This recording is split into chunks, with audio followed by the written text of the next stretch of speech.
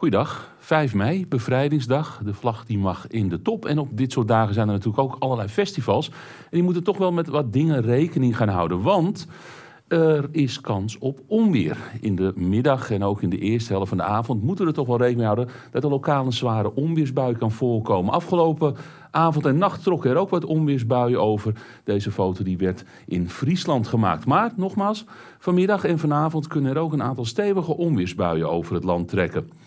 Computermodel laat het ook mooi zien. We pakken eventjes het model op in de ochtend om 10 uur. En dan zien we vanuit het zuiden al wat buien komen. Maar er ontstaan ook buien in de loop van de middag.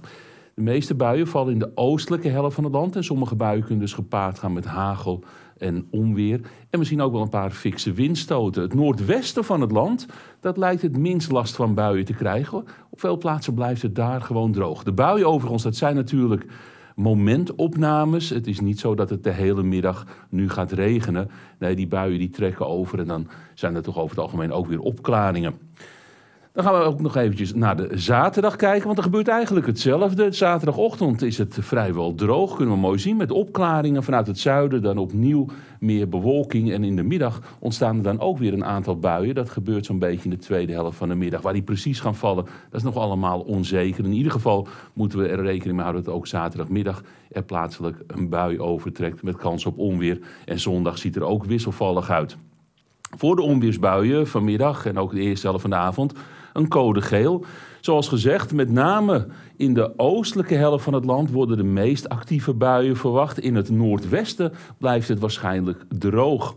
Er is ruimte voor de zon en de temperatuur loopt voor de buien op naar zo'n 16 tot 20 graden hoogste temperaturen diepe landinwaarts. Er waait vandaag een matige wind uit het zuidwesten. Zoals gezegd, bij de buien kunnen er ook windvlagen voorkomen. Later vanavond is het droog en vannacht kan er ook mist gaan ontstaan in het noorden en midden van het land. Temperatuur daalt naar zo'n 8 tot 10 graden en er staat weinig wind. En morgenochtend lost die mist dan in de eerste helft van de ochtend op. Er zijn de perioden met zon, maar in de middag kunnen er dus weer buien overtrekken. Bij temperaturen tussen de 18 en de 20 graden. De wind die waait wat morgen wat meer uit het zuidoosten. Kijken we ook nog even naar de zondag. Ook dat is een wisselvallige dag met in de ochtend waarschijnlijk droog weer en in de middag weer kans op buien. Het wordt dan 16 tot 19 graden bij matige zuidwestenwind. Fijne bevrijdingsdag.